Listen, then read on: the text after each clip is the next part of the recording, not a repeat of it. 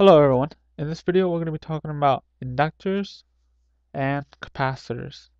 Inductors and capacitors are classified as passive elements, or passive elements cannot generate energy, but they are used to store energy.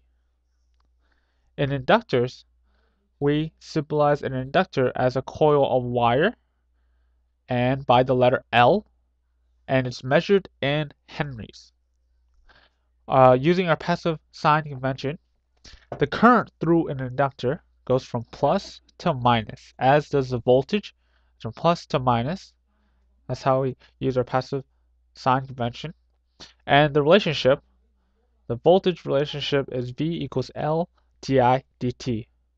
Now two points to remember is that under constant source DC or steady state, inductors behave as a short circuit.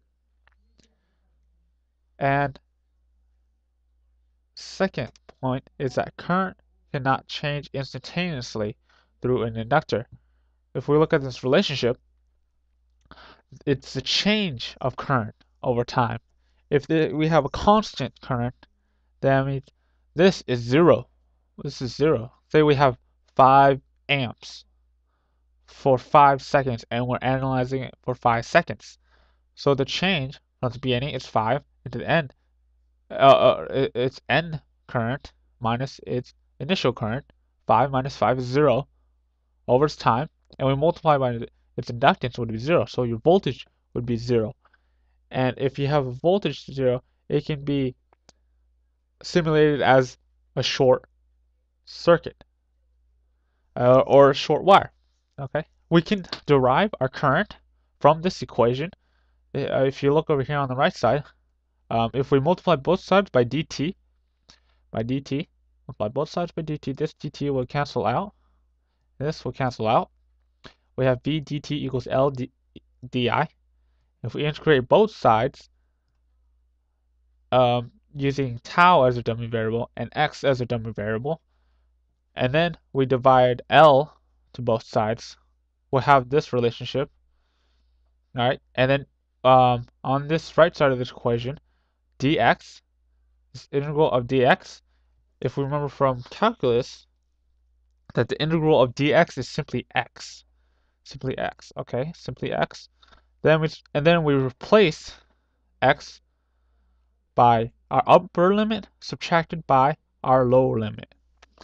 And then we add both sides by our lower limit and we would have our relationship, our current relationship of inductors is I of t equals 1 over L, the integral from its initial time to its final time of V d tau plus its initial current.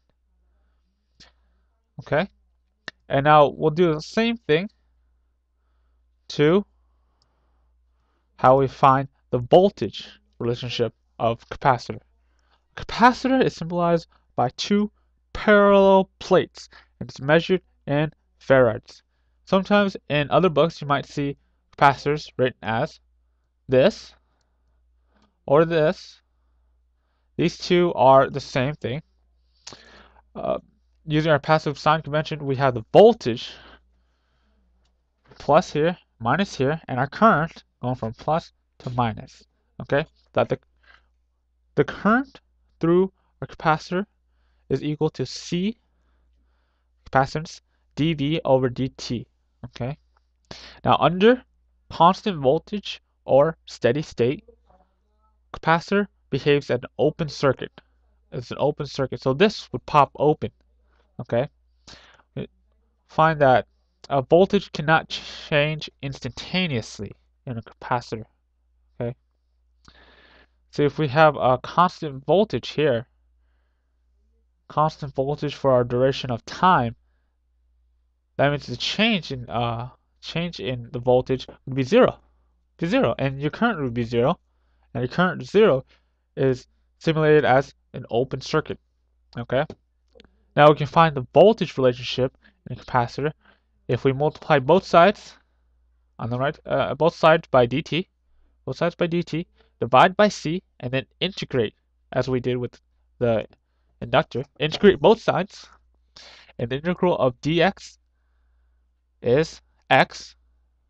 We, we take our upper limit subtracted by our lower limit and we would and then add both sides by our lower limit and we have our voltage relationship it's 1 over c the integral from the initial time to final time of i d tau plus v t of vt naught is equal to your voltage capacitor okay things to remember that inductors under steady state under a constant source behaves as a short circuit, okay, over time.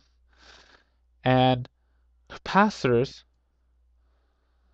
under constant voltage, under constant under, under constant source, steady state behaves as an open circuit. Okay, so so what you need to remember is that current uh, is that inductors short, capacitors open under steady state. Okay, and next we'll be talking about uh, series and parallel combinations of inductors and capacitors. Okay, now you know a little bit about inductors. Um, when you're trying to simplify inductors in series and inductors in parallel, simplify them as you would if you had resistors in series and resistors in parallel.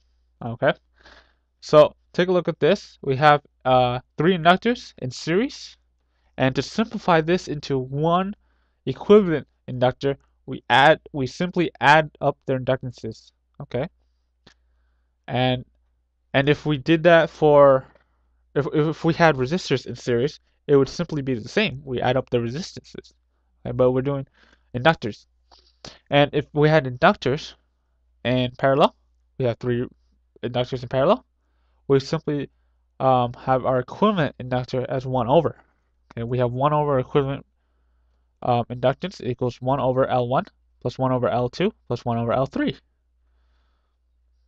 Um, uh, same as if you were to uh, simplify three uh, resistors in parallel, you would add up um, their inverse of the resistance and then and then uh, that would be equal to 1 over its R equivalent. Okay, uh, this is a little bit different, a little different um, for capacitors. If we have capacitors in series, a series, capacitor series, we simplify into one capacitance, one one capacitor, sorry. Um, it would be 1 over your equivalent capacitance is equal to 1 over C1 plus 1 over C2 plus 1 over C3 right here. Um, and if we have capacitors in parallel, you would simply add up their capacitance. Uh, C1 plus C2 plus C3. Okay? So, uh, to summarize, if you have uh, inductors in series or inductors in parallel, simplify them into an equivalent induct, inductor as you would simplify it as resistors. So you can treat them as resistors when you're trying to simplify it. For capacitors, however, if you have capacitors in series, you do um, 1 over its capacitance plus 1 over the other capacitance is equal to 1 over its equivalent capacitance. If you have capacitors in parallel, simply add up their capacitance and you have your equivalent capacitance for um, an equivalent capacitor. Okay, and that will be it for um, a brief introduction for inductors and capacitors. Uh, thank you for watching.